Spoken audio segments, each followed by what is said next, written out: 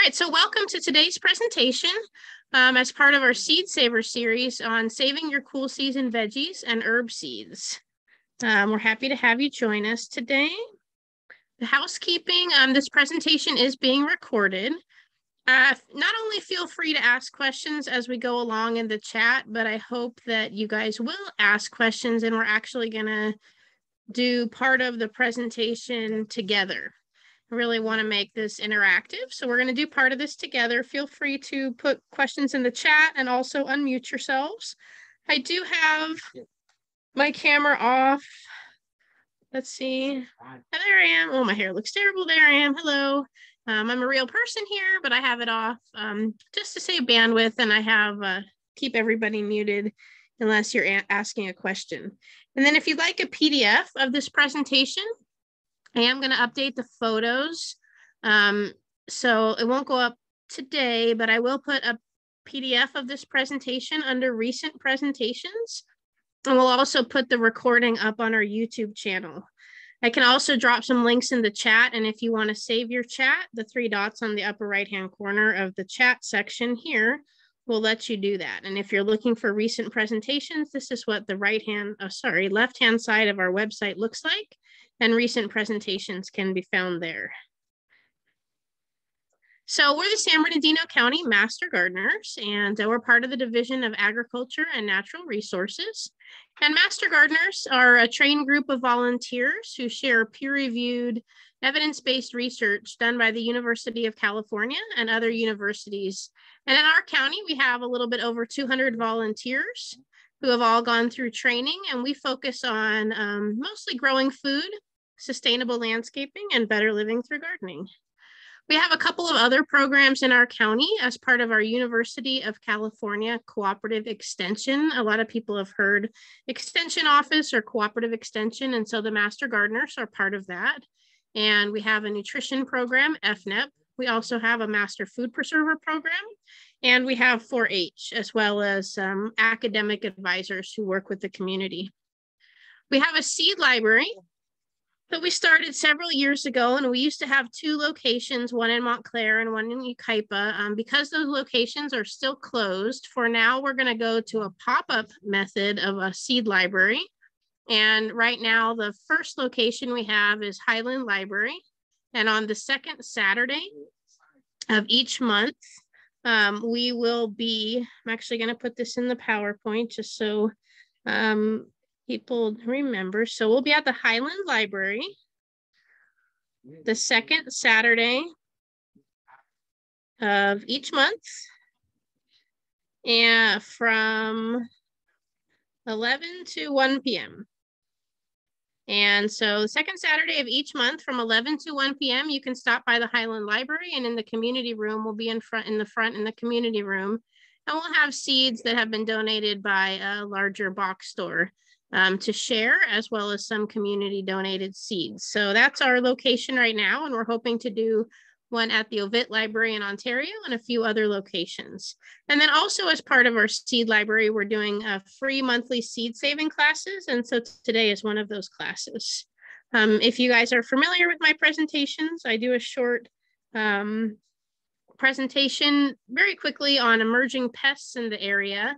And even for those of you guys who have heard this before, uh, still after many years of doing this and lots of um, people trying to share this information, there's still some information that people are not quite clear on or um, some people don't know. So I want to just keep uh, sharing this messaging to make sure that we can protect our trees and our plants. Or so let me make sure there's nobody else in the waiting room. Nope. Okay. So really quickly, and we'll get back to our seed saving presentation. I want to talk about citrus greening disease. Um, and it's also known as HLB or Huang Long Bing disease. And this disease is a bacteria and it is, or the disease is caused by a bacteria. It's fatal to citrus and citrus relatives. And it's not harmful to people, but uh, Florida has almost no backyard citrus. So in fact, uh, The Economist uh, I guess it's a newspaper publication. Yeah, I guess it is a newspaper publication still. Um, so many things are transitioning to being online, but The Economist is doing a story on worldwide agriculture and they're spotlighting citrus greening as being um, kind of an example of a perfect storm of a way that uh, an entire agricultural commodity, being citrus, can be um, taken down um, by a disease or a disease complex. So, uh, really serious and has affected citrus worldwide in many places. The disease has been found in Southern California, all over Southern California. Oh, and this is not the most updated map. I apologize. Uh, this these two areas have connected. So the uh, quarantine in Riverside and the quarantine in San Bernardino County have um, come together here in the center and so within these blue lines, then um, if you live within these blue lines, here's San Bernardino County and Orange and Los Angeles and Riverside, then uh, if you have citrus, your citrus is at risk. The disease, the bacteria, is spread by a small insect, the Asian citrus psyllid, or ACP is commonly called. It's about a little bit less than the size of a half a grain of rice, and it feeds at a 45 degree angle. And when it feeds on plants, um, it's a piercing, sucking insect, and it carries this deadly bacteria in its gut. And as it feeds from one plant to the next, it spreads the disease. It will feed near where it lays its eggs, which is what you see. These are not the eggs, but the larvae. And it feeds and can infect the plant tissue where it lays its eggs. So when these larvae first, first hatch, then their first feeding could potentially be on an infected plant. And what you'll see when the disease starts to spread through the tree is um, eventually the fruit becomes bitter and misshapen. It's very inedible. The seeds are aborted or tiny and brown. And the leaves, the earlier symptoms are the leaves have asymmetrical yellowing. Eventually, the leaves and the fruit fall off, and within 10 years, the tree will die.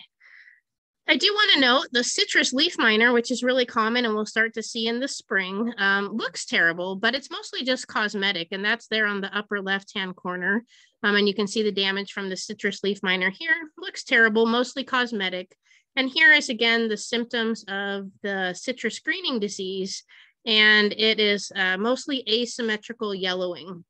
So this time of year, a lot of people are seeing nutrient deficiencies. You might be seeing leaf miners.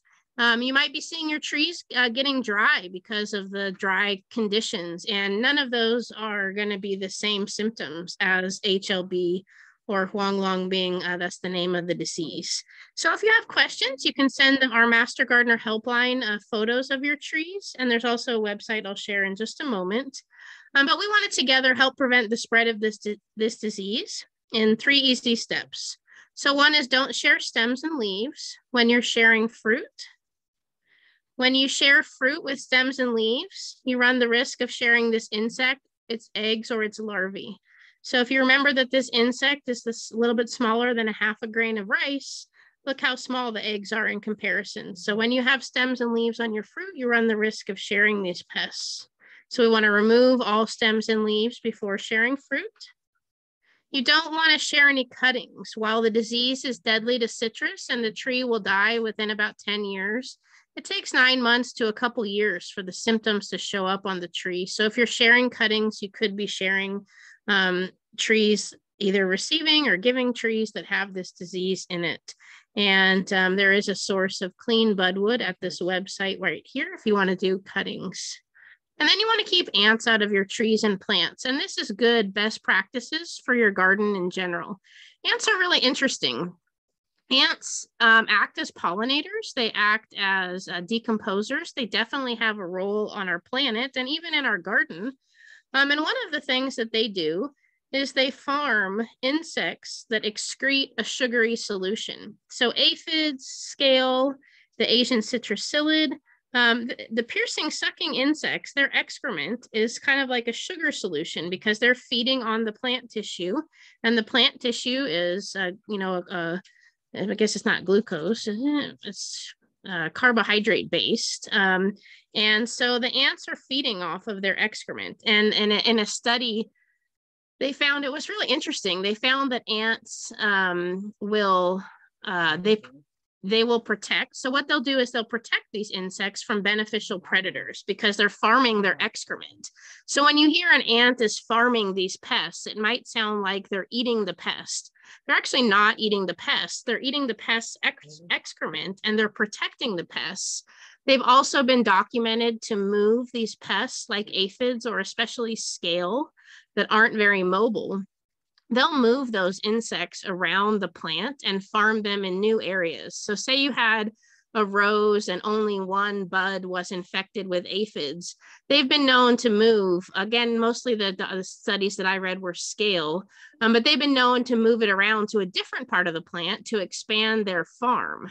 So, the ants um, also another interesting thing that they've discovered is that the ants uh, cause the insects to create more excrement. The ants sort of act like bodyguards, but in exchange, they want their sugar solution. And they've actually been videoed and documented massaging the bellies of aphids in order to get them to produce more ex- excrement. And studies have shown that the aphids are under duress and will produce more excrement because they're in fear of their lives from the ants. So, really interesting relationship. But in short, what we care about in the garden is two things is one i'll use ants especially with a larger plant as an indication that i may have some sort of pest. In my um, tree the other day my daughter was saying oh there's a lot of ants in the tree. And then we looked around and we found some scale. So i use the ants as kind of signal um, insects for another pest. And so i know you're joining today for a talk about seeds but in order to get seeds, we need to have healthy plants. And this would be true in your cabbage, in your roses, in your trees. If you see ants in your plants, it's often an indication you have another pest. And so we want to keep ants out of our plants so that the beneficial insects can come in and do their jobs. So with the Asian citrus psyllid, the one spreading this deadly citrus disease, then the ants keep this Tamarixia wasp, which is a, a beneficial predator, out. They'll also mm-hmm. keep syrphid fly larvae out. They'll even throw ladybugs and ladybug larvae out. They'll throw out praying mantis larvae because they want to protect. Again, the ants are wanting to protect these insects that they're farming. So, step three in keeping your plants healthy and also helping to prevent the uh, citrus greening disease is we want to keep ants out of our plants. While we don't want to eradicate ants altogether, there's lots of things for them to do besides being in our high value plants.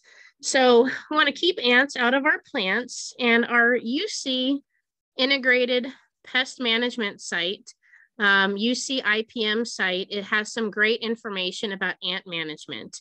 And basically, in, uh, it talks about sort of their life cycle and gives recommendations on best practices to keep ants away. And if you guys have questions about any of these pests, then uh, feel free to ask me at the end of the presentation. And if you want to learn more about the citrus greening disease, which again has been found in Southern California, the insect that spreads it is everywhere, and Florida has no backyard citrus. So, really important we do our part to help prevent the spread of this disease. And if you want to learn more about the disease, um, go to this website and we'll share that in the chat. If you have figs, be on the lookout if you have early fig drop where the figs are not maturing. There's a new pest in Southern California that they want us to look out for, which is the black fig fly.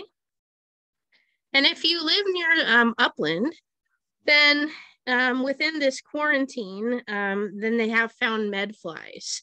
So they're asking that um, you don't remove fruit from your property and also that you just in general sort of be an ambassador for the don't pack a pest. They just had a, a medfly outbreak in Devore and they did the genetics of the medfly outbreak in Devore. That was last year or two years ago and it was traced back to Hawaii. So people had either brought fruit back from Hawaii or had fruit shipped. And so we don't want to ship fruit out of our area and we don't want to bring fruit in unless it's been gone through the proper channels. So with all of these things, um, you know, feel free to ask us questions at the end of this presentation, reach out to our Master Gardener helpline, check out the websites that I shared. And uh, if you can just tell three people and tell them to tell three people so we can spread the word, not the pest or pests in this case. That's my little public service announcement. And if you guys have any questions about those pests, I'm happy to take those at the end of the presentation. Um, so seed saving your cool season veggies. So I'm just gonna really quickly talk about seed saving basics, seed saving from your cool season veggies, seed saving from your herbs, some tips for success, resources, and um, take questions and answers that have, or take questions that haven't um, been answered already and uh, hold on just one second.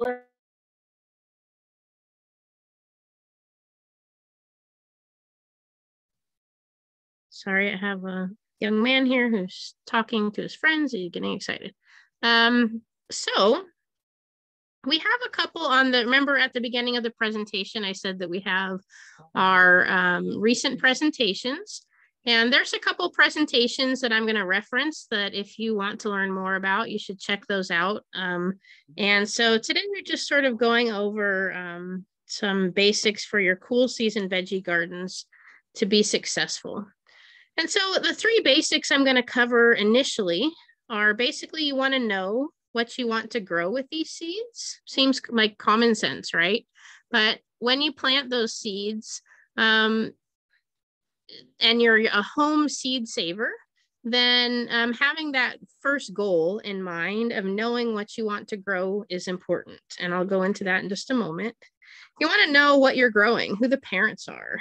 Um, and then the third one is going to be about controlling and assisting in pollination. So uh, you want to know what you're going to grow with your seeds. So, you know, it's more than just, okay, I, well, sometimes it's not. Um, you know, you planted carrots and you want to grow those carrots and you want to save seeds from those carrots and you want to grow more carrots from those carrot seeds, right? I mean, that's kind of the basics of what we want to do. But it's important to define what your expectations are. Um, if you're a seed saver that has a little bit more experience, you may be trying to create something new. Um, maybe you are crossing two plants that have uh, have characteristics. Maybe you have a really sweet, uh, a really sweet carrot, and you have one that has really nice color, and you're trying to see if you can get that sweetness and that color. Maybe you have a tomato that has really great flavor, and maybe you also have a tomato that um, did really well in summer's heat or something like that. So you may be trying to create an intentional cross, or you may be just saving what you have and kind of seeing what you get. And a lot of the seed saving that I did when I first started was sort of finding seeds on the plant and then uh, just saving them and seeing what I got with that saving and seeing what you get, um, it's important to understand that you might not have followed the steps needed to get the plant that you want. So, a good example that we might, if you're familiar with fruit trees, that you might be familiar with is um, peaches. Peaches, you know, when they fall from the tree, they'll drop a seed and that seed is really viable is often very viable and it will grow a peach tree. Um, but a lot of times that peach tree you know it, it might flower and it might um, be a pretty tree but often it's not going to create a peach that you wanted. So that's sort of a case of well the peach made a seed so i'm going to plant it and i'm going to see what it does. And then it really doesn't provide you with much fruit Sometimes if you're saving peas, for example, and you have a lot of different peas that you're growing, then that seed may, um, it may grow a pea plant, but it might be a pea plant where the peas don't have very good flavor. So a lot of home seed savers get frustrated and are, um, you know, kind of kind of get stuck on this area where they've saved those seeds, but when they grow them, they're just not producing what they're expecting. And um, I feel like I saw I saw something on the internet that said, I've come to the conclusion that buying plants and planting plants is two different activities. And I've definitely come to the conclusion that saving seeds and successfully growing out those seeds are really two different activities and two different skill sets. So when I started, um, it was a lot of things like the background work to get the seeds that I wanted. And so I just kind of was more of the accidental seed saver where I would find peas on the vine. I would have tomatoes that um, left got left on the vine. And from there, I would save those. And I had uh, probably more failures than successes. I would have tomatoes um, that just seemed to make plants, but they just they didn't really match the parent. And so, you know, with the time frame and the kind of garden that I was doing, I was okay with having those, you know, the seed saving was more of a of a secondary activity. I'm sorry, my cat is trying to take down. There's something in my roof. Like I'm trying to wrestle my cat. I apologize. If I'm getting winded, I'm running around the house. Um, so, you know, I was okay with that sort of accidental seed saving, but as I've done as I've done more seed saving, I want to take it more seriously. And really, that comes to the next slide I'll show. Um, but if you're trying to get something that looks like the parent plant, you know, it has a, good characteristics, like, you know, that parent plant has good flavor, good hardiness, or good color, um, then you really need to think about its parents. And like I was willing to do a lot of trial and error. So if I grew things and I didn't have a lot of success, you know, I was kind of okay with that.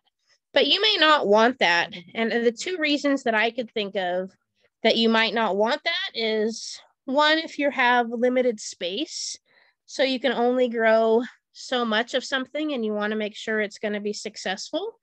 And the other thing is if you're sharing seeds with others.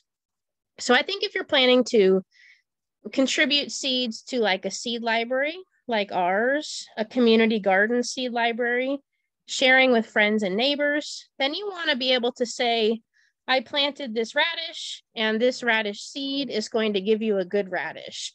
And that's where a lot of seed savers fall off um, because they're just like myself included. There's a lot of seeds that I'm just not confident in sharing yet. And um, I have a lot of space, so I can just kind of throw things here and there and see what happens. Um, but if you have limited space, then having a seed grow that gives you what you expect is really important. And, you know, it might seem obvious, but this is the number one reason that people um, get frustrated or give up on seed saving is because, yeah, they got that seed, but the seed didn't give them what they want. And then the thing, too, is if you're a new gardener, or someone who's not like a, a, a comfortable vegetable gardener and then also your seeds you're not sure if your seeds are going to give you what you want that's a lot of variables in there you know did it not give me what i want because i didn't water it properly um, sometimes people will save plants in the broccoli family and it won't produce a broccoli head and so then it's like, did I not water it enough? Did I not feed it enough? And if you're saving your own seed, it might not be that it might be that the genetics are not there in place. So um, this is the area where I feel like, like I said, like most people get frustrated or give up. And I just want you guys to know that you're not alone if you've had these frustrations. And the way to really have a good handle on getting this getting your plants to give you what you expect is in this second slide and a little bit the third slide and these are slides this this slide and the next slide which is about pollination oh what happened to my pollination slide uh this slide uh the pollination and knowing the parents are um, presentations that we'll do an entire hour on. So for pollination, traffic control, we have a presentation already up on our website if you want to understand more about that.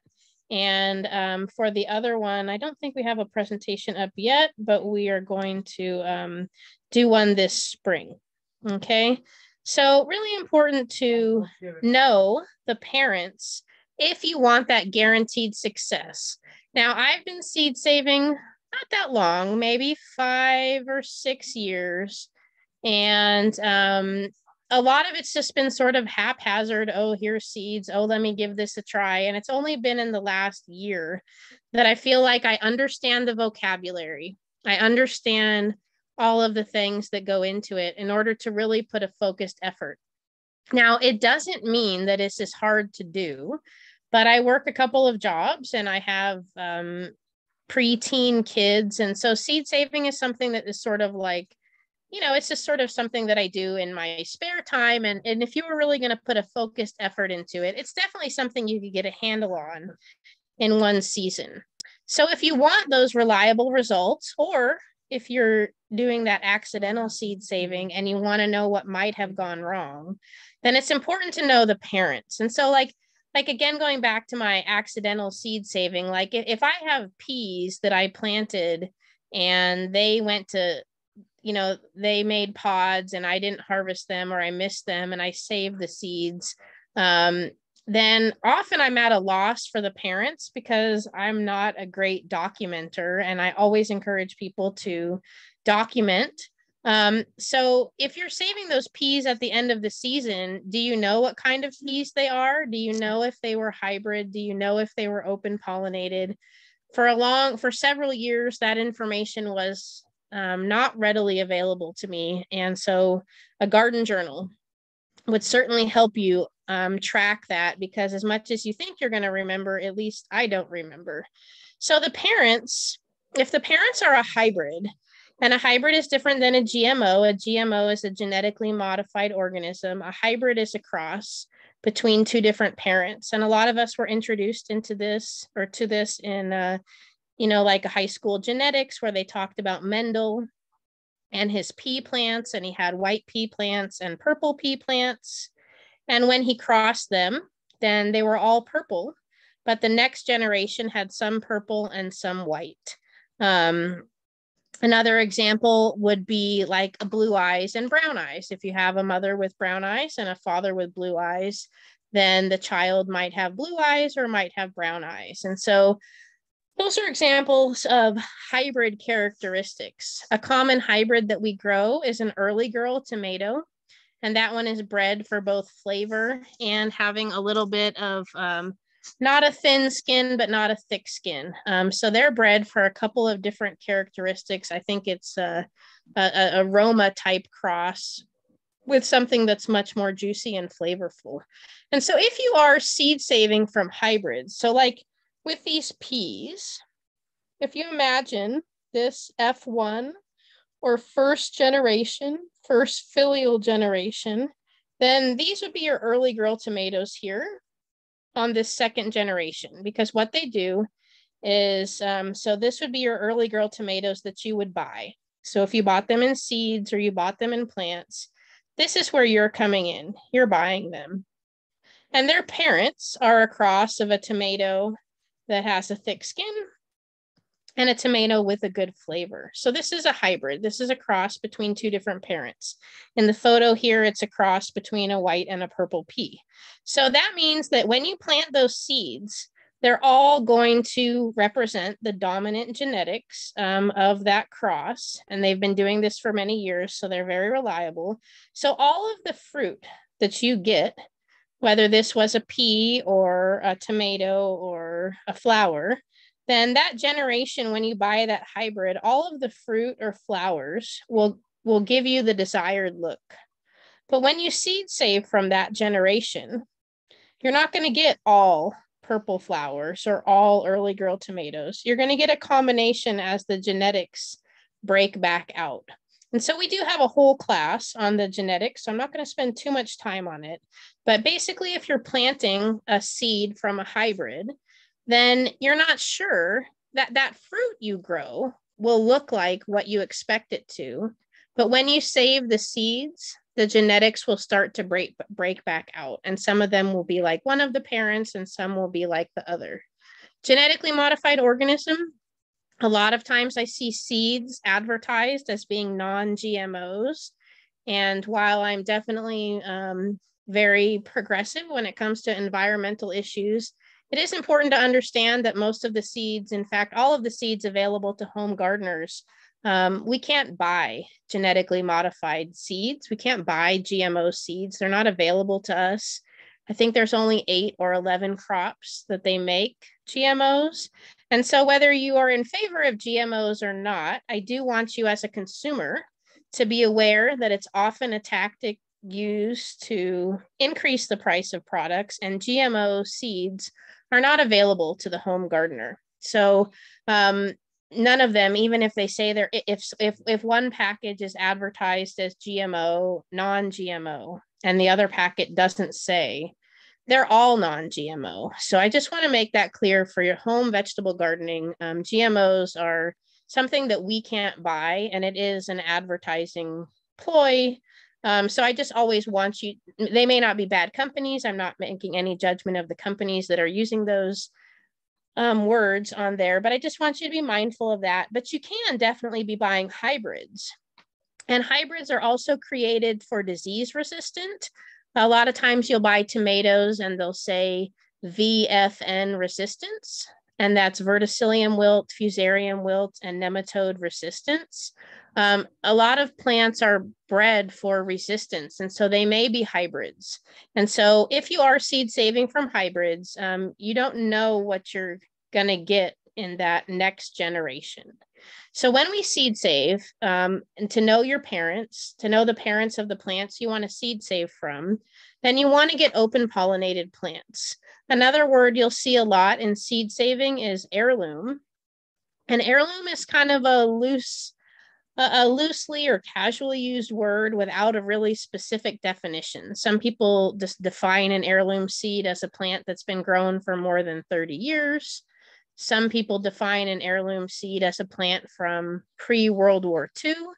And usually, when we see the word heirloom, we think back to, you know, old or something that is antique or something that's been around for a long time. And that's the loose definition of heirloom that this is a plant that has been grown for a long time and it's open pollinated. And open pollinated means it's not intentionally crossed. So instead of having a purple and a white flower, you would have two purple flowers and they're allowed to naturally cross. But where a lot of people get confused and have trouble is just because something is open pollinated, it doesn't mean it can't cross or hybridize naturally in the wild. So if you have five different kind of peas and they're all open pollinated, they may still cross with other peas in the garden. So we have a whole talk about pollination traffic control. And that's what that talk is about. And that one is up on our website. And um, it really is a topic that too much to cover today, but I want you guys to really understand that if you're trying to get that seed where you can say, Yes, Mary, I grew these radishes, and when you plant these radishes, they will look like this radish right here in my hand. If you want to have that degree of confidence, um, one, it takes practice and time, but two, you really need to know the parents that you grow from, and you want to be growing from open pollinated seeds. You absolutely can save seeds from hybrids, and some people do it just for fun if you grow alyssum, alyssum is a white flower that um, syrphid flies really like. That's that beneficial predator that I talked about earlier. And alyssum often is sold um, as a purple flower, but it reverts back to white because white is the dominant gene. And I have it growing all over my grove, and it's kind of fun because occasionally little purple patches will pop up. And that's where um, two sets of purple recessive genes have found each other. And um, so seed saving from hybrids is not, it's not that you can't do it. You just don't know necessarily what you're going to get. And so if you're an experienced gardener and wanting to play around, then seed saving from hybrids can be extra fun and uh, adds a little adventure and spice to life. You want to understand a little bit about the parents, know if they crossbreed easily, and we'll talk about that in just a little bit. You want to know if they're self pollinating. Do they need a pollinizer or a pollinator? And we'll talk about that in just a second. And you need to know how many plants you need for viable seeds, and we'll talk more about that in just a second. And please feel free to ask questions. as we go along. Um, either unmute or put questions in the chat, okay? Um, so when you're understanding the parents, a good place to start is to know what family the parents are in. And I'm going to show you my go-to chart. It's not a university chart, and it's really interesting. You know, the university has spent a lot of time researching growing crops from seed, but they don't compile it all. You know, if you're an alfalfa grower or you're a corn grower or you're a, you know, asparagus grower, then they, they kind of divide those up separately. So it is a little bit hard for home gardeners to find a chart of all the seeds together. But Seed Savers Exchange has a wonderful chart that we'll be using for our activity today. And so you can see here, you've got what, two, four, six, eight, 10-ish, 10 plant families here. And it's important to know that all of these plants within these families can crossbreed. So eggplants, peppers, potatoes, tomatoes, they can crossbreed, although they're less likely to because they're self-pollinating. A lot of the plants in the mint family can crossbreed, the legume family, the brassica family is big on crossbreeding. So all of these plants listed here on the right um, when you're growing them, you may be creating hybrids in your yard without being aware of it, and that can lead to some seed saving frustration. Going back to pollination and thinking about the families. So if you have, you know, for example, you're growing um, broccoli and cabbage and cauliflower and kale, those are all in the same family, meaning they can crossbreed.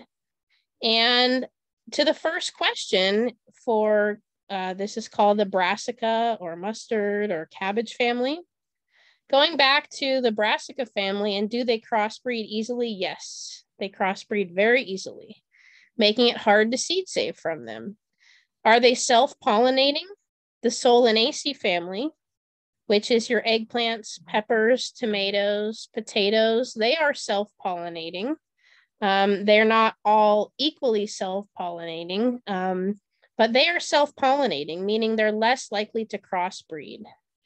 You want to know do they need a pollinizer, which is like with an avocado, you have a pollinizer, an A family, and a, a type A and a type B.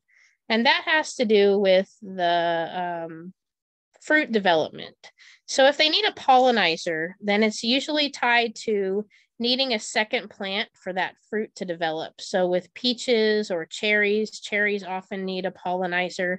So a cherry needs another cherry in the another plant in the cherry another cherry tree to make fruit. And then some of them need pollinators, like your squashes. A lot of times people don't uh, get a good squash crop because they don't have pollinators um, for the squash, and they may need to do hand pollinating. And in that vein, do you have the pollinizer which is a, a pollinizer. I apologize. So a pollinizer is another plant needed for successful fruit production. So like an A type and a B type avocado or a different, you know, two different types of cherries or something like that. And then a pollinator is an insect or it could be an ant or it could be a human um, spreading pollen around. And so this is the other topic that I have an entire hour on. So let's look at some common cool season veggies and apply this. We'll talk about broccoli, carrots, radishes, lettuce, and peas. And if we have time and there's engagement, then we can talk about a few other things too. Oh. So the Seed Savers Exchange is like my go-to for information for homeowners. Um, again, it's not because the University of California doesn't have good information. It's because that information is targeted toward commercial growers who are um, dealing with other things. And a lot of commercial growers don't grow their own seed. And so they don't have to worry about that cross pollination. But the Seed Savers Exchange has this is my chart. This is like, I'm not my chart, this is their chart, but this is my go to chart for um, information about seed saving. It is so helpful um, and this is the chart we're going to do our activity on. So you see the chart is broken down into crop. So we're going to be looking at broccoli and it talks about the species. You can see the species for broccoli is brassica and the family that it's in uh, the family is the one that um, you're probably looking to see. Okay, so you see here on this chart, for example, broccoli raab, broccoli, and uh, arugula are all in the brassica family, meaning they might cross pollinate. You see, you have um, a couple of plants in the amaranth family. You have the beets and amaranth. You have um, the pea family or Fabaceae, and the adzuki bean and the bean are both in those family. And so those are going to cross pollinate. So that's the family. And this is a really important column for you to make note of when you're trying to seed save successfully, this family column. The life cycle is important to note. Your annual plants are going to give you um, a plant flower within that first season. So, for example, you have um, your uh, arugula. The arugula is an annual, and that means if you plant the arugula this season, it will flower this season. See things like asparagus as, are perennial, and asparagus um, will go to seed each season. And then you see things like broccoli, whoops, or beets are a biennial. And that means it will give you a seed in the second season. There's a couple of exceptions to that. So, a second season would be like if you grew a carrot or a broccoli this winter, it will give you seeds next winter, next spring.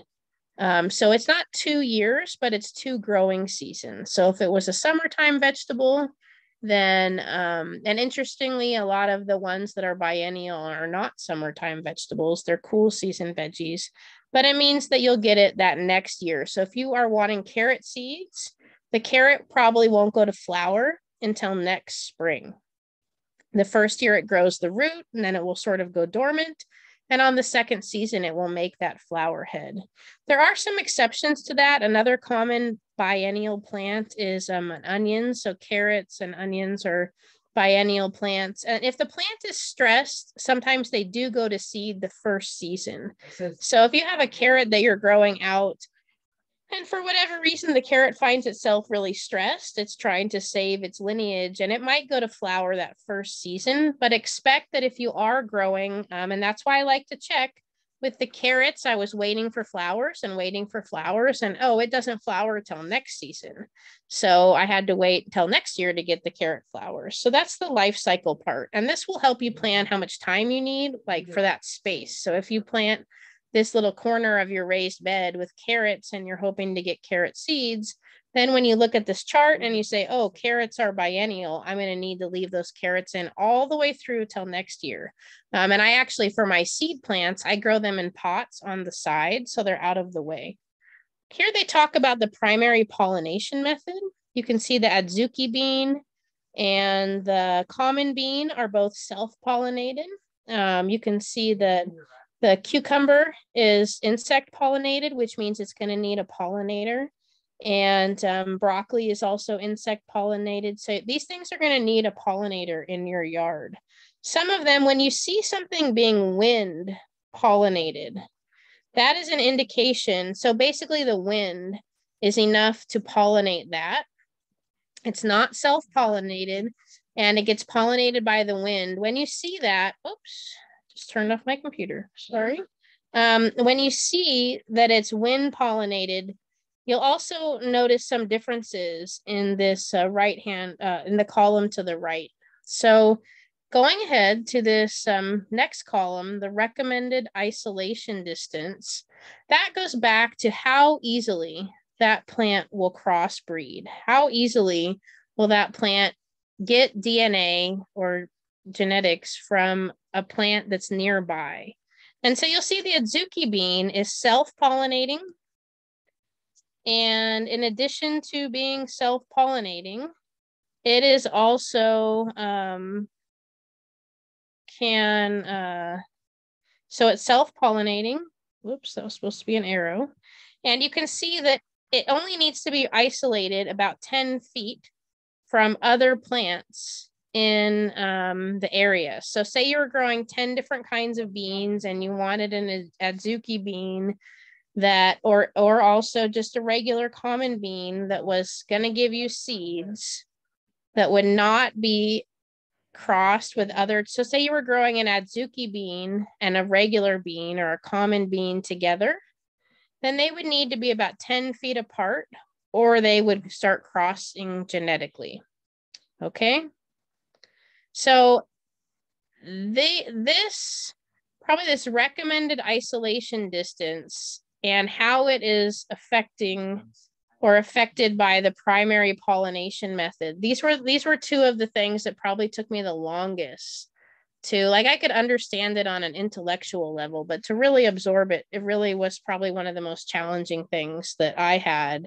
It took me time to absorb all the implications of this. So if you look at, for example, broccoli, you will see that uh, broccoli down here needs to be 800 feet to a half a mile from any other brassicas.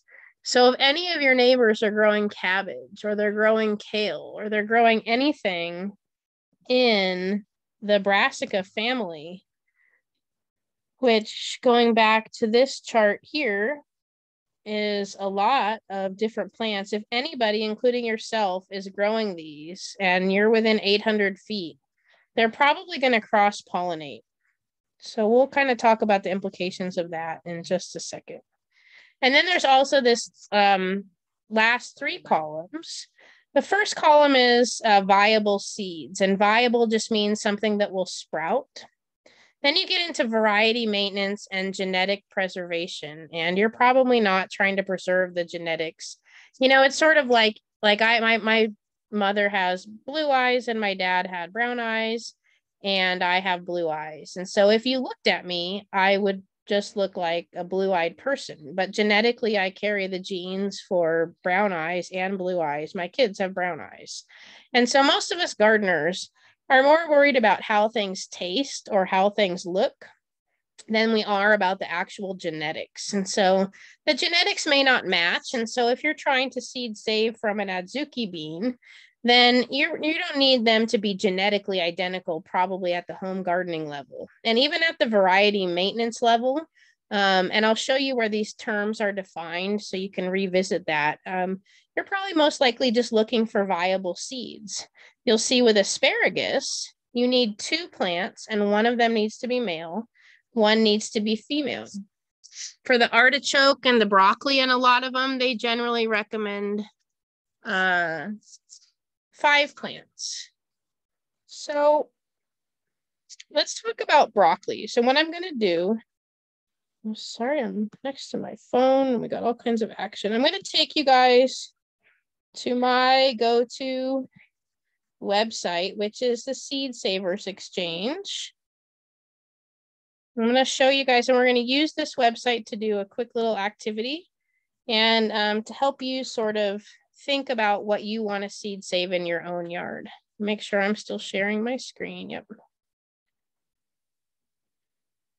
So the Seed Savers Exchange, they are selling stuff. I'm not endorsing them as a master gardener, um, but they sure have some really great resources. And so, um, and yes, I'm going to put this PowerPoint up on the website. There was a question in the chat about that. So this will be up on our Master Gardener website under recent presentations.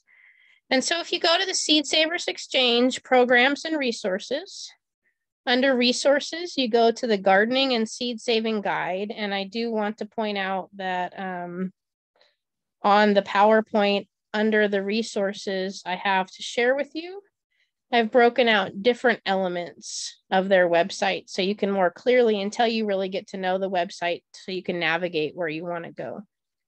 So if you scroll down, they have seed starting, plant care, pollinators and soil, and seed saving.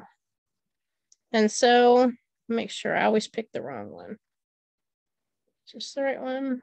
No, that's not the right one. I always pick the wrong one. Let's go back here. So under seed saving, uh, then seed saving chart. Is that the right one? Let's see here. Yes. Okay. So this is where that chart that I just walked you guys through, which really is like my go-to for seed saving. And and and I show in in the PowerPoint, I have the link directly and it said seed saving chart. And from here, they redefine those things that I just covered. Remember the different columns that we just looked at? Here are those definitions. And here toward the end, they define what variety maintenance and genetic preservation means. So you'll have that um, in case you forget what the columns mean. From there, you can download the chart. And we're going to start, here's the chart, five pages of great information. So we're going to start with the broccoli. And we're going to copy out the broccoli section. And I want to show you guys how you would use this to seed save your broccoli. So let's go back to our slide for broccoli. Okay. So for the broccoli, I'm going to paste, oops. Oh, I can't paste stuff in while we're in the presentation. I forgot. So I'm going to paste this in. We'll just sort of consider this like a little worksheet or activity. So here we have our broccoli column. The difficulty for broccoli is hard. Why? Because they crossbreed easily. You'll notice the isolation distance from other in the Brassica family, which is a big family, is 800 feet to a half mile. They also, um, broccoli we usually harvest when it's this immature flower head. So you need to let the plants flower, go to flower in order to um, get the seeds and you would lose the produce. So they're how they're pollinated is by insects. Um, how many plants do you need for viable seeds? Five. And so if you wanted to seed save from broccoli, you would have to create, and we'll talk a little bit more about isolation distances right at the end of the presentation. I'm probably going to run about 10 minutes over. Um, and I will post this recording on the website. If you need to go to 4.30, then um, you can listen to the last 10 or 15 minutes of the presentation uh, on our website. Um, but so for the broccoli, um, then you need to create an isolation distance. And I, like I said, we'll talk about that at the end of the presentation really quick. And that's also can be found in our pollination traffic control um, presentation, which can be found on our website. Insect pollination needs to occur. Um, so if you can't keep them screened off or keep them away from insects because the insects are um, the ones doing the pollinating.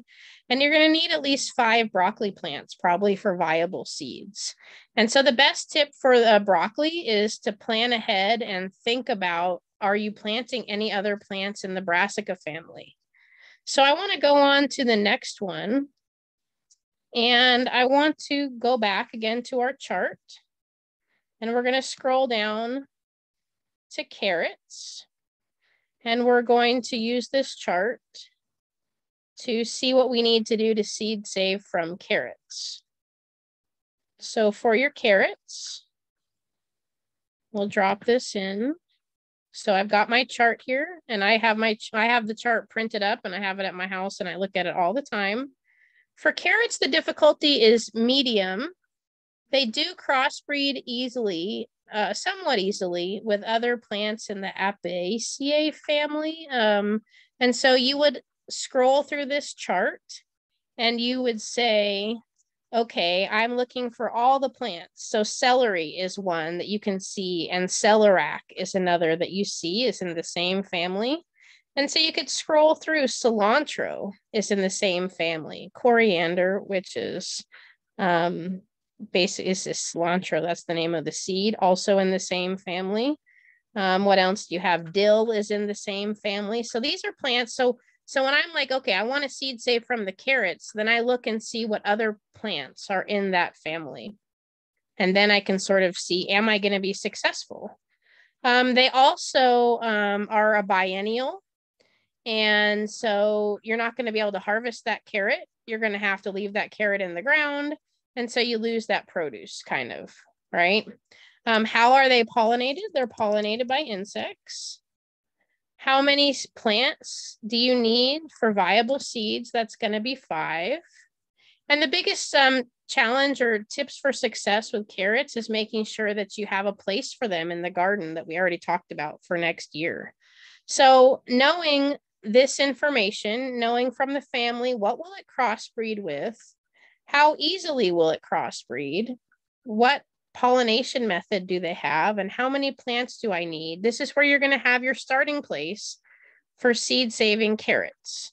I'm going to go through three other plants. And if you guys have questions, um, let me know as we go. Um, and, and the reason I didn't prepare this ahead of time is I wanted you to sort of see that um, for a person who I wouldn't consider myself an experienced seed saver, but a person with a little bit of experience, how I would go through the process using this chart to know how successful my seeds were going to be. So I get the radish section, got our radishes here. The difficulty I would say is medium, and I would actually say it's probably medium to hard because it is in the brassica family. Every time I see that, I say, ah, because that means it crossbreeds really easily with a lot of other plants. And usually, what you get, like if you've ever heard of broccolini, which is not little broccolis, it's a hybrid of broccoli. Um, Kalettes is a combination between Brussels sprouts and kale. Those are all accidents in the garden that created great things. So, crossbreeding can sometimes come up with some really interesting things but often what it creates is a plant that doesn't make a fruit or doesn't flower, doesn't do what you want. So radishes can be a little bit tricky. Um, also with the radish, you're not going to be able to harvest the radish. You lose the produce. Um, you need to leave that radish in the ground. They are an annual, so yay to that. You know, we are going to get that seed in that first season. On the right-hand side here, you can see what their seed pods look like. They actually sort of look like little beans. And um, so then when we look at how are they pollinated, they're pollinated by insects. And in most gardens, um, insect pollination is not going to be an issue. The main thing that I point out the insect pollination is because sometimes people will screen off plants to protect them from harmful pests. And just note that if you're like for a radish, you don't need access to pollinators to get your radish. You will get a radish whether there's pollinators or not, because that's the root of the plant. You don't even need to let it go to seed to get the produce. So if you are planning on seed saving from it when it's in flower, now you could protect it the rest of the time. So say you planted 30 radishes, you can see that you need five radishes for viable seeds. Then you pull out 25 radishes and you leave five radishes behind and you protect them from your pests with some sort of screen or mesh or whatever you have. But when they go to flower, you open it up to pollinators and let those pollinators do their job. That's important to get the seed. So that's where this chart is important. Um, and tips for success for radishes. It's just going to try to be not to have them um, flowering at the same time as other brassica plants. Okay, it's I've got two more examples. So we got lettuce. We're going to look at lettuce and we're going to do, so we'll go through our chart. We'll pull up our lettuce here. So we say, okay, I, and lettuce is an easy one. I like lettuce. Lettuce is uh, one of a good, a good cool season uh, starter plant. And so for uh, seed saving. So we're going to have our lettuce here. So, okay, the lettuce, we see it's in the Asteraceae family. So we would go back to our chart and we would say, what other Asteraceae family are there? Okay, we've got lettuce, Italian dandelions. If you're growing Italian dandelions, they might crossbreed with your lettuce. What else do we have? Endive and escarole. Escaroles, I'm not sure I'm saying that right. Those will also crossbreed. So we would look through our chart and see what else is in the Asteraceae family celtuce. I guess that's that's maybe a celery and lettuce cross. Celtuce is um, also in the Asteraceae family. So then we're noting that and we're looking around and seeing what else is in our garden, or maybe when we're planning to plant things, we're planning that out. The seed saving level is easy. Um, they don't crossbreed. Look, they do, they are in um, family with other things that we talked about, but they're self pollinating and they only cross pollinate at 10 to 20 feet. So as long as you don't have anything else in the Asteraceae family um, within 10 to 20 feet, you're fine. If you grow 10 varieties of lettuce and they cross pollinate, you could come up with some interesting flavor and color combinations. So whereas with because if you think about it, lettuce, you're eating the leaves and all of the all plants are going to grow and make a leaf. So if lettuce crossbreeds with other lettuce, you're still going to get a leaf. You may not like the way they crossbred, the flavor, the toughness, something like that, but it's still going to get you a leaf. With a brassica, eh, you know, and you're looking at like if you think of a, a Brussels sprout compared to a broccoli, they set their flower heads in a different way. We eat an immature flower head. Cabbage, we eat the immature flower cluster before it even you know creates that flower cluster. So there's a lot of things that can go wrong if the plant has mixed genetics genetics. With lettuce they're all going to make leaves and it will just be a cross. Um, lettuce is an annual plant so yay to that. You know that you're going to get flowers in that first season. Um, you don't lose produce um, on that one let's see, sorry about that. So because you, when you harvest lettuce, the idea to harvesting lettuce is that you pick the leaves off around the edge and you can continue to harvest the lettuce um, and also let it go to flower eventually. So you don't lose the produce, which is nice. Um, and the only thing that makes them challenging is that they do, it is like a dandelion. You can see in this photo up here what the lettuce flower head looks like. Um, it has a little umbel on it, and so they are ready to fly. Let's look at our chart again and see um, how they're pollinated. Is they're self-pollinated, so they don't need um, any other plants. You'll notice they only need one plant for viable seeds. So another reason why lettuce is a great one to start with. And then we're going to finish up with peas here. So we'll go back to our chart. We'll look up our peas and we will copy that out. And um, so for winter time, I would say lettuce and peas are a great place to start. Those are things that you can plant right now. It's not too late. Hopefully, our spring isn't too warm and you can harvest those seeds this spring. And if you already have those things growing, you may have um, lettuce or pea seeds um, on the ready. So um, we have uh, they're easy to seed save. They are uh, sorry, I copied these bullet points out and I forgot to take that out. So they're easy. Why? Because they're self-pollinating. They're annual, which means they're going to make a crop of seeds this year. Um, they don't cross-pollinate within 10 to 20 feet of each other. And for pollination, um, they are uh, self-pollinated. So that's great. That's something we want to see, and you only need one plant in order to get viable seeds. And the main tip for peas is to let them make sure they dry on the plant. Like the sugar snap peas or the peas you harvest when they're still immature, just note that we eat them when they're immature and they won't, they're not fully formed. So they need to dry on the plant. Okay, so in the interest of time, I'm happy to go back over this at the end of the presentation, but basically, what else, you know, are you growing arugula? Are you growing, let's, you know, really quickly just look at our chart. Are you growing parsley? Are you growing uh, shallots, rutabagas, runner beans, rice, um, uh, quinoa, um, pumpkins, all of these things?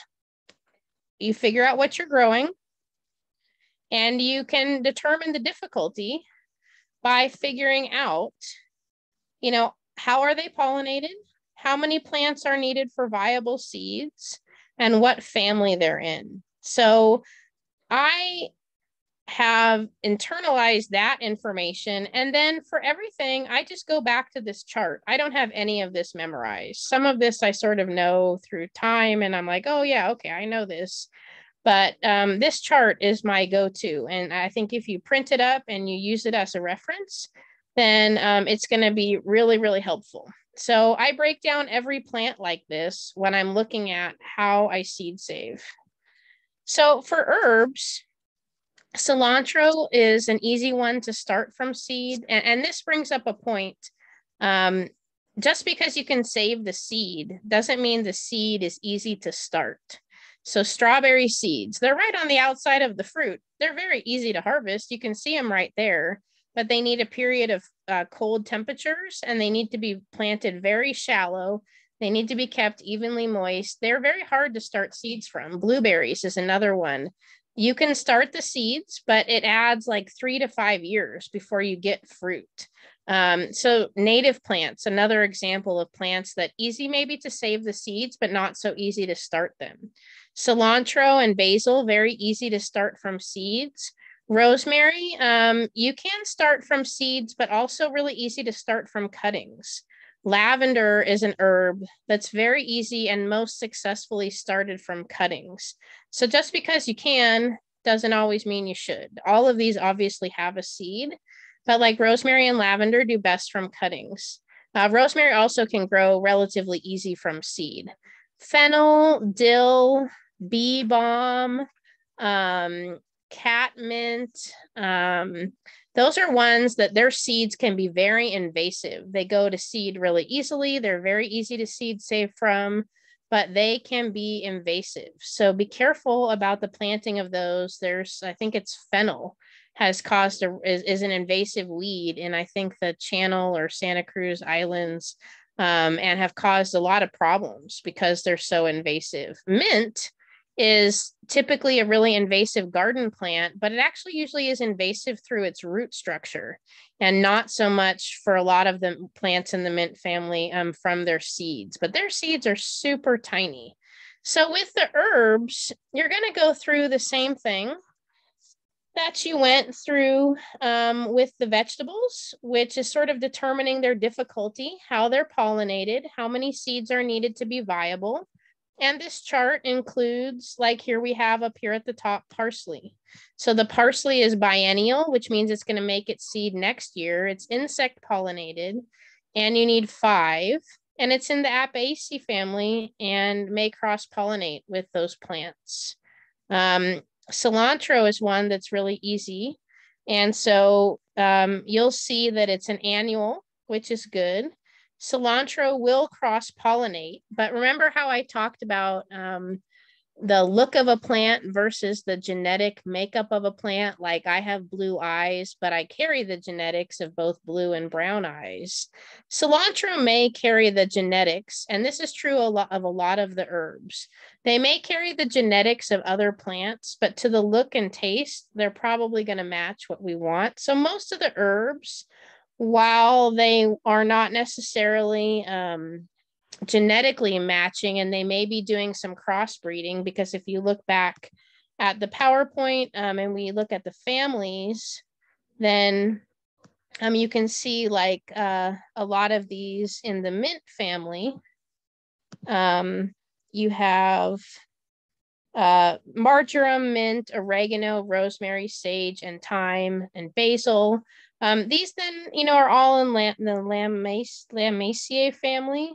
I'm not sure, I don't think I'm saying that right, but they're all in the same family. And so they may crossbreed on a genetic level, but for the most part, when you grow marjoram next to rosemary, you're not going to come up with a marjoram rosemary hybrid. It's going to look like what you expect. So herbs are a great plant to practice seed saving from.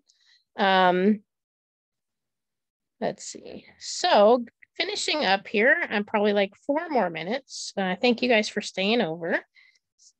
Um, I want to touch on if your cool season veggies, which would be like right now, could be any of your broccoli, your cabbage, your cauliflower. Did they bolt in the heat? Um, let them go to flower. Look at this is a flower from a cabbage plant, and uh, it was a beautiful flower. The pollinators loved it and this would have been an opportunity for me for me to seed save. Now i didn't know the genetic makeup of the parent um, and this was actually an ornamental cabbage.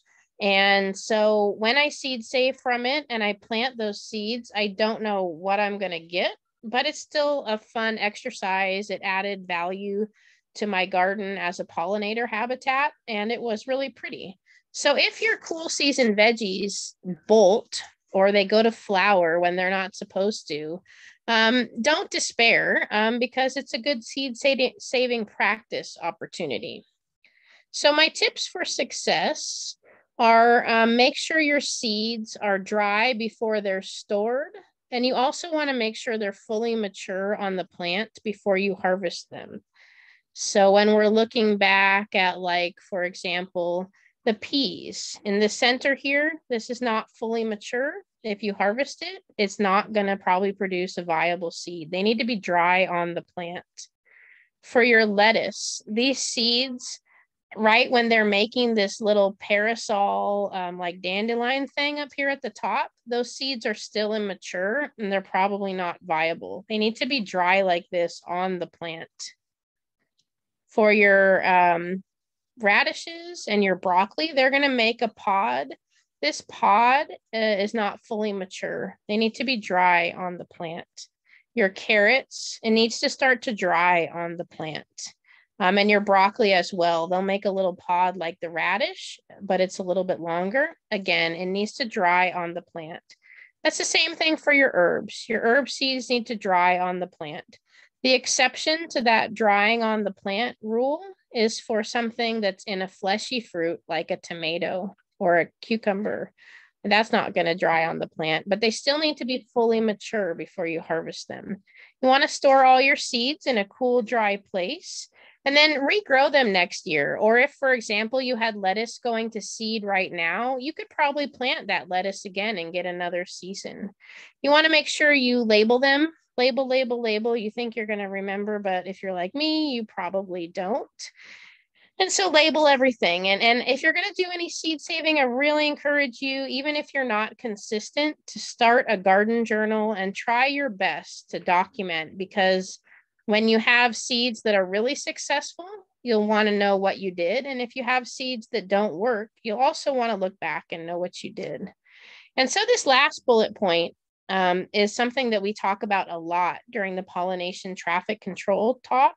And it's where you're creating distance from your plants. Remember, we have this isolation distance, right? You have an isolation distance that goes anywhere from 10 to 20 feet, all the way up to 800 feet to a half a mile. And so for the isolation distance, it basically means that if those two plants are flowering at the same time, that um, they are going to potentially crossbreed. But if they're not flowering, so if you're growing a broccoli and you're growing a cabbage, but the broccoli is going to flower and the cabbage is not in flower, they're not crossbreeding at that time. So you can isolate flowers. Maybe if you have something that you want to seed save from and it needs pollinators, but you have something else that's flowering and you don't want them to crossbreed, maybe you're isolating that flower by covering it with gauze. Maybe you're pinching those flowers off depending on the situation. Um, the other thing you can do is create distance so, you know, like peppers crossbreed fairly easy with other peppers. So maybe you could plant peppers on one side of your house and then another type of peppers on the other side of the house. Or maybe you're planting a bell pepper and a hot pepper and you want to see what happens if they crossbreed. So you just let them grow right next to each other. But also keep in mind that you can create distance through time. So if you plant 10 kinds of lettuce, but you plant one this week and one two weeks from now and another one two weeks from now or then and da da da da da in succession using succession planting. Then the first one's going to go to flower before the second one goes to flower before the third one goes to flower. So maybe you can grow 10 types of lettuce at the same time but they're not going to flower at the same time that gets a little bit trickier in the summer with plants like squash or tomatoes or peppers where they keep producing a lot of flowers um, because it's not like a one time flower stalk, it's ongoing flowering. But a lot of your cool season veggies do make a one time flower stalk. And once the seeds go into a pod, so once the seed, you know, right at this stage, they can cross pollinate because the flowers are open, they can be pollinated.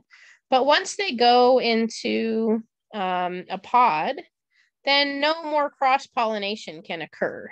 So if you were to have, for example, uh, radishes and and your radishes had gone into a pod and you had other radishes flowering or a broccoli or something else flowering, the pollination has already occurred for this radish.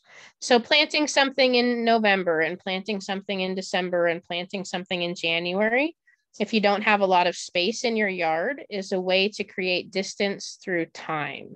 And we talk more about that in the pollination traffic control. So my recommendations for what's next, um, start small. Think about seed saving when you're buying your plants or your seeds. Look for words like hybrid.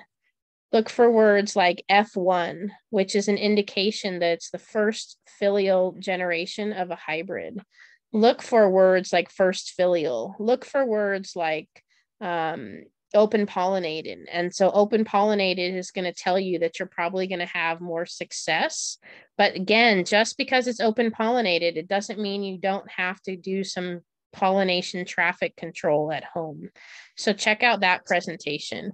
Um, and, and know that the word heirloom just means that it's open pollinated, but it's also not a guarantee of success if you don't do some pollination traffic control. Okay. And then um, just be opportunistic, catch seeds as they appear, try to grow them out and try to see what happens. See, do you like the flavor? And then sort of work backwards. Was this a hybrid? Did I have 10 different kinds of peas growing? So they actually all crossbred and I came up with something really disgusting. Maybe you came up with something really great. Um, and then just remember that becoming a seed saver takes time. Um, start small, give yourself time to learn, and then join our free monthly classes and um, bring your questions. You know, I really would like to um, create a dialogue with our counties and community seed savers. So definitely bring your questions. I have two pages of resources. You'll notice a lot of these are from the Seed Savers Exchange, but I have like a general res- resources, isolation methods, seed saving terms, um, and isolation distance guides. So I kind of broke the website down. I'm going to drop these really quickly into the chat. This presentation is also going to be up on our website um, in the next day or so.